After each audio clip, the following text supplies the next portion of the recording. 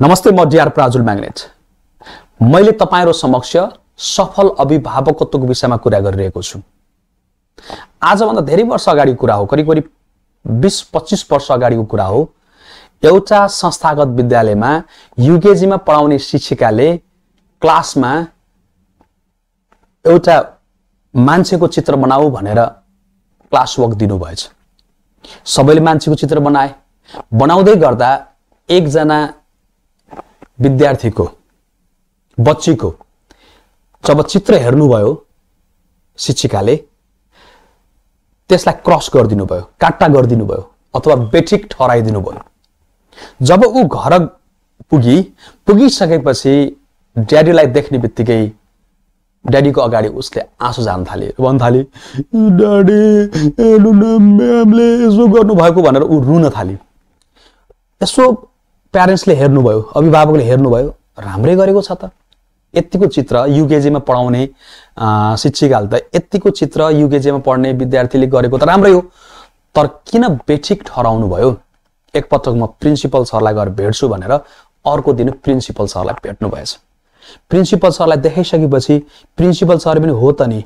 यतिको चित्र बनाइसकेपछि टिचरले राइट दिनु पर्थ्यो। किन रङ दिनुभयो? एकपटक सोधौँ है त भनेर। टिचरलाई बोलाउनु भयो। हेर्नुहोस् है।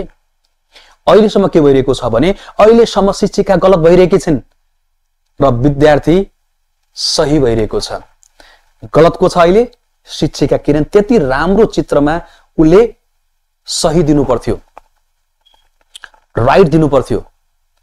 अब टिचरलाई बोलाइसकेपछि टिचरले भन्नुभयो होइन सर उहाँकी छोरी अत्यन्तै ट्यालेन्ट छिन्। ड्रइङमा त उनको एकदम एक्स्ट्रा अर्डिनरी स्किल्स छ।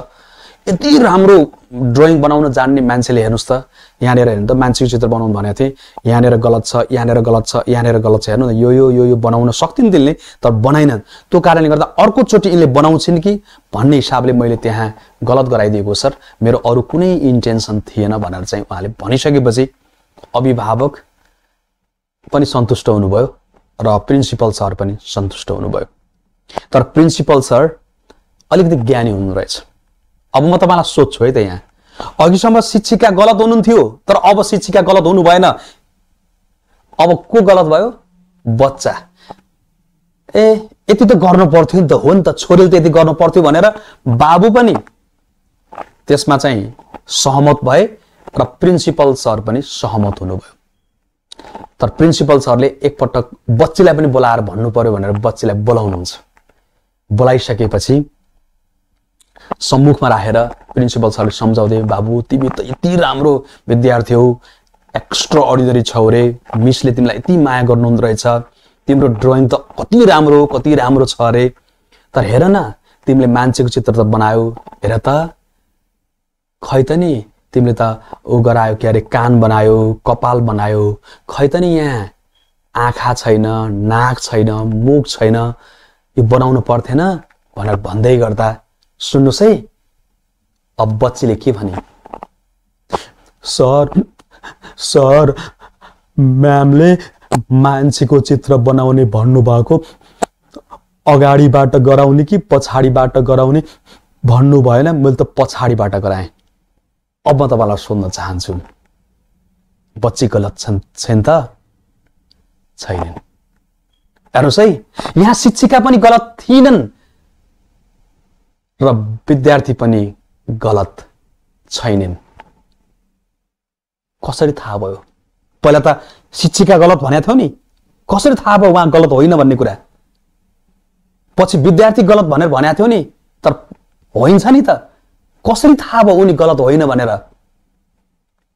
कसरी थाहा भयो भने बच्चाका कुरा सुनेर शिक्षिकाका कुरा सुनेर। हो। कुनै पनि व्यक्तिलाई करेक्सन गर्नुभन्दा पहिला हामी उसँग कनेक्ट हुनुपर्छ। कनेक्ट हुनु भनेको पहिलो कनेक्ट हुनु भनेको बच्चाका कुरा सुन्नु हो।